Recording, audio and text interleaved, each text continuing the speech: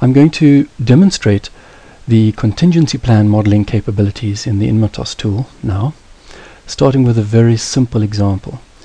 This particular example has got one main state up at the top left here. This one is called failures.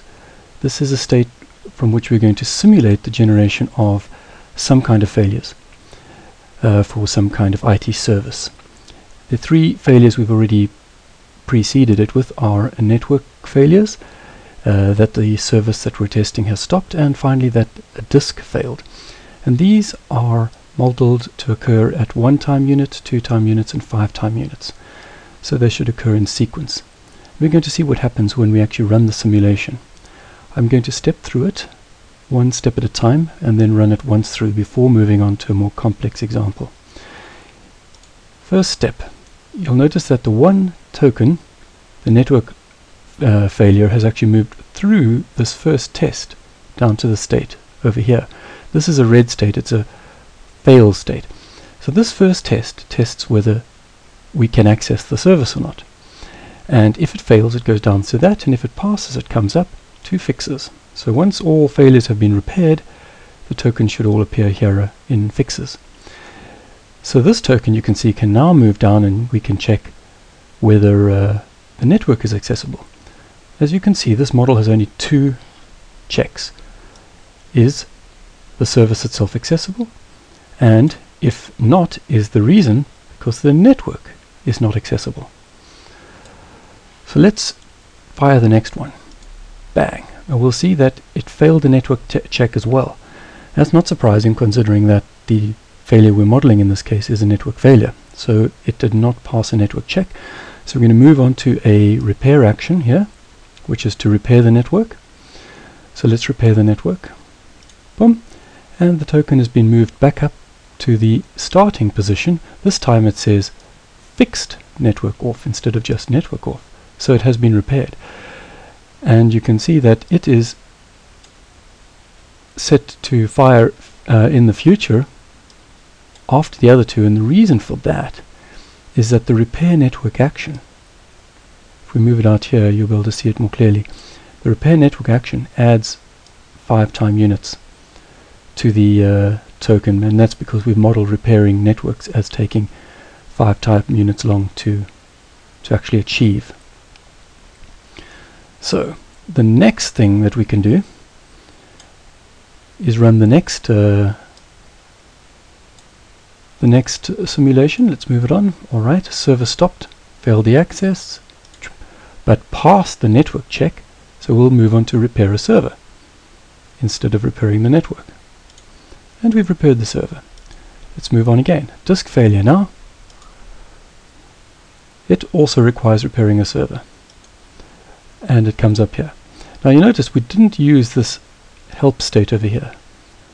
If we continued to model this more complicated thing here, we might have decided on a point where we would ask for external help and fix it in a way that is not modeled by the actual contingency plan at the bottom. I will show you that in the next demonstration.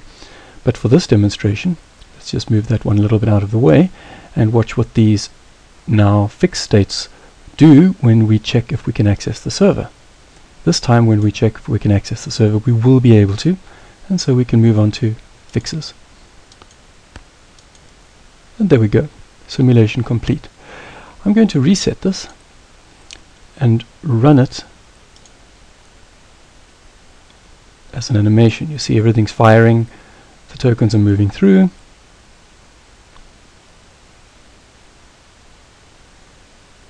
All failures are fixed. Now how did that work? Take a look at the server access. It decides if we can access the server or not based on whether or not the reported problem has been fixed. It just simply checks inside the uh, token whether the word fixed is there. If it is, it says we fixed.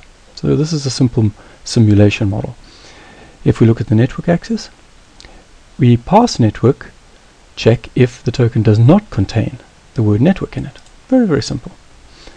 How does the repair action work? We look up here, it prefixes the token with the text fixed. so, of course, then the next check here will pass. What about the repair server? Or repair server here also prefixes with fixed. So these are very. This is a very simple model for simulating uh, some simple decision logic. Let's look at a more complicated model. This one is not only going to do two checks, it's going to do six. Can we access the service? Can we access the server behind that server, actually providing the service? Is the database running? Can we start the database? Is the disk okay? Can we access the network? The repairs that will be performed would be can we, will, we will repair the network, we will repair the actual server, the machine, we will repair a disk, we will restore a backup, and we will restart the database. So I could go through all of the different steps, but really it's just an extension of what we saw before. The we in this case we are using that help state, that external support required state.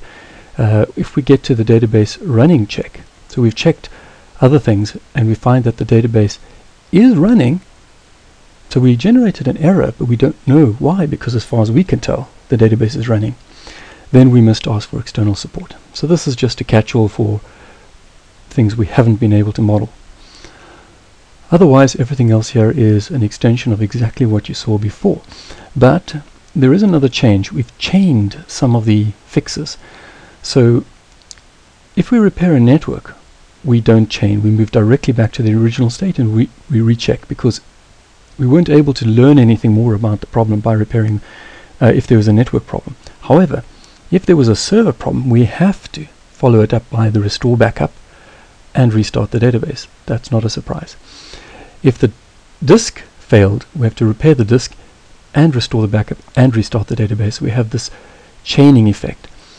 In the next video I will explain the uh, syntax for how we build these models and you'll see that there is an implicit chaining both between the sequence of checks we make as well as the sequence of repairs that we can perform. Let's run the simulation. Alright, there goes the token for the network check and it's through. Here comes a token for the next error, the server stopped, and it was restart the database. And the next token, disk failure, comes up here. It should get all the way down to the failure. Bang, and we repair the disk. And before the disk gets repaired, we start the next, the passing the repair through. Okay, there we go. All of them are through. The database is fully repaired. And one of them, the unknown one, actually went through the support required.